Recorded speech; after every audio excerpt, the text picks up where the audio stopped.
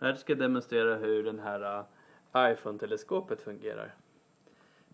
Jag sätter på iPhone-teleskop på kameran. Sådär.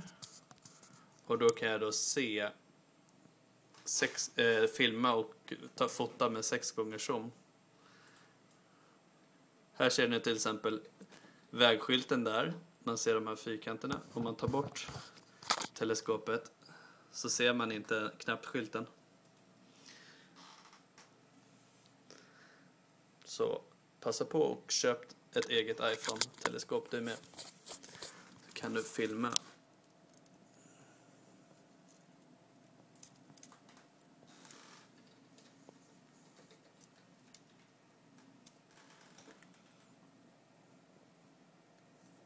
Kyrkan med teleskop.